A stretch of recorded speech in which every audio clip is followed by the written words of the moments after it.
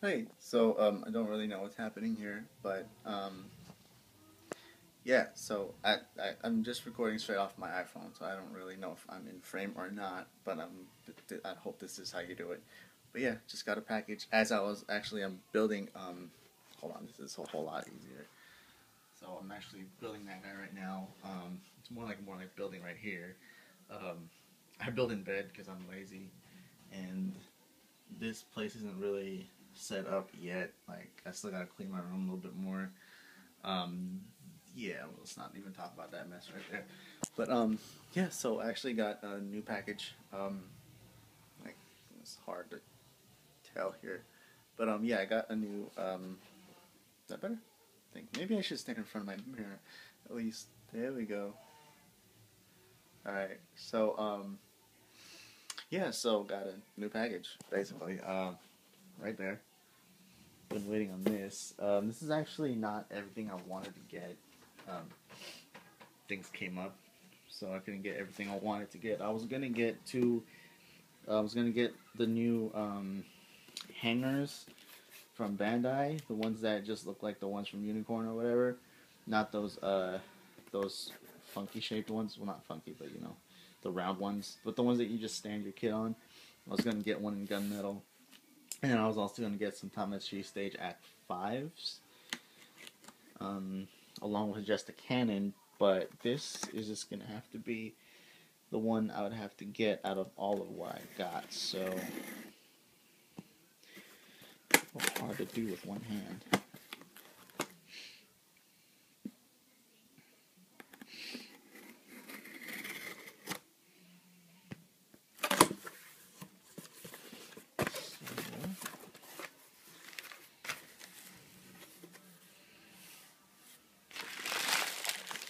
Yep. This is all stuff. Um, nice. Okay, so one-handed unboxing for the win. Um, damn, this is well, big. That is a big figure. Um, Metal Gear Solid Rising Play Arts Kai Raiden from Metal Gear Solid Rising Revengeance. Uh, I had to get this figure because I love the game so much. Uh, so yeah, awesome looking figure. This, my only other play arts, not even play arts Kai, but my only other play arts figure is freaking Sephiroth and Zack from years ago. And judging, just judging from what I can tell, this figure looks a whole lot bigger than Sephiroth and Zack.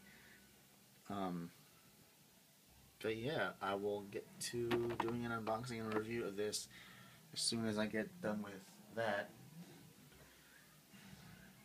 And yeah, I'll talk about this guy more on GFG whenever. Actually, I was waiting for this figure to do my first GFG.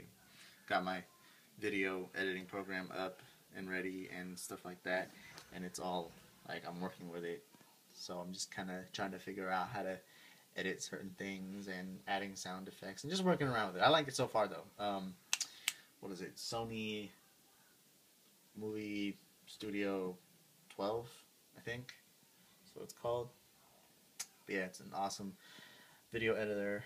At the same time, I've also been spending a lot of time on Pixlr.com, which is this on this free online photo editing uh, program. It's awesome. It works like Photoshop you can't really do everything you could do with it that you could with Photoshop, but it gives you the basics. So if you guys are looking for some basic photo editing, you know, like enhancements, filters, things like that, um, check out Pixlr.com. It'll you'll definitely kill a whole lot of time doing that too. So yeah, thanks for watching, guys. See you later.